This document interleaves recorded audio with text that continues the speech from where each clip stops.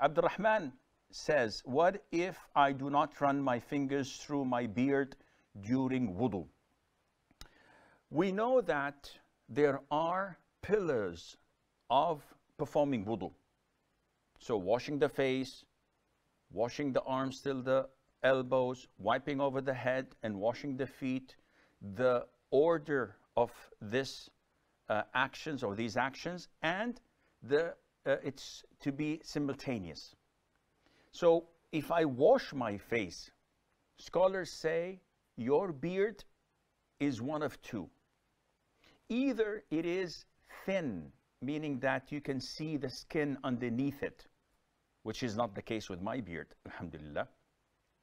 So if you can see the skin underneath it, then you have to wash it and what's underneath this beard so that you ensure that the water reaches your skin, which is apparent. But if it's a thick beard, what is the ruling? Different of opinion among scholars. Some say that washing the face includes what you can see from it, but what goes underneath a thick beard would be very difficult, if not impossible. Others say, no, you have to wash it because it was proven authentic that the Prophet, ﷺ, whenever he performed wudu, he would take a handful of water and put it underneath his beard.